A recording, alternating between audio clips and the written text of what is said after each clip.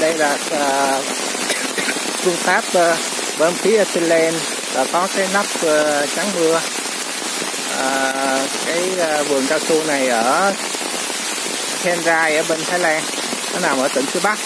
Thì mưa các bạn thấy là nước từ cái thân cây xuống rất là nhiều. Từ những cái phương pháp uh, che bình thường thì cũng khó mưa lớn mà cũng khó có thể che được cái chén. Thì uh, Ờ, với phương pháp này á, thì ờ, dùng khoan dùng mấy khoan khoan vô cây thì sau đó vẫn lấy mẫu bình thường trong ngày mưa. Đó, thì nước mưa sẽ không vô được ở trong cái ờ, cái cái cái chén có nắp đậy như thế này. Đó, đây là cái phương pháp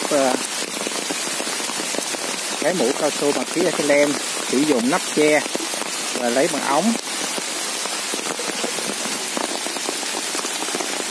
Thì mình mình qua bên đây à, để tìm hiểu thêm về cái à, cách thức này để à, để làm một cái quy trình kỹ thuật cho nó đúng mà để tiện lấy gia tăng cái sản lượng trong ngày mưa mà không làm cho cái cây cao su nó nó nó nó bị bị kém phát triển.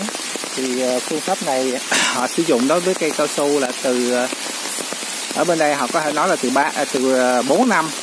Ờ, chỉ cần cái đường kính là tầm khoảng à, đo từ đất lên một mét rưỡi, tầm khoảng 40 cm là có thể ứng dụng được cái phương pháp này. Đó, thì cũng là một cách áp khí ethylene vô trên đây.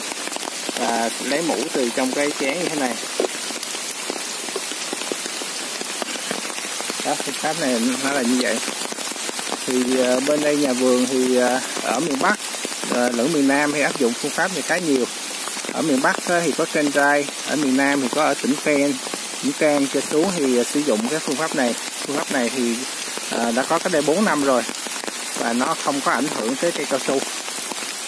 À, nó hạn chế làm mất cái lớp vỏ cây cao su và đồng thời làm cái thì khi mà hạn chế được sự mất vỏ đó thì cây cao su nó sẽ nó bị vết thương ít hơn và nó sẽ phát triển tốt hơn thì ờ, cái vườn này thì là mới năm thứ sáu và họ mới áp dụng cái này được ờ, hai tháng.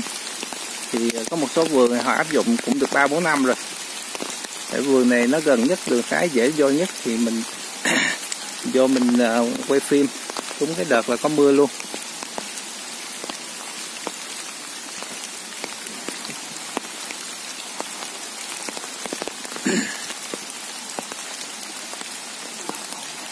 đây là cây ga của bên họ họ cũng dùng một lần rồi họ vứt.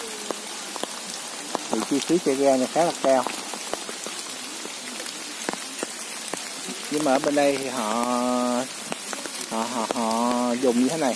Tại vì ờ, không biết là giá mũ có cao hơn ở Việt Nam hay không. Nhưng mà thấy họ rất là chơi sang dùng chai ga làm một lần rồi là bỏ không à. Thì có cái việc này, có cái ứng dụng cái này thì việc đi lấy mũ rất là đơn giản và thuận tiện.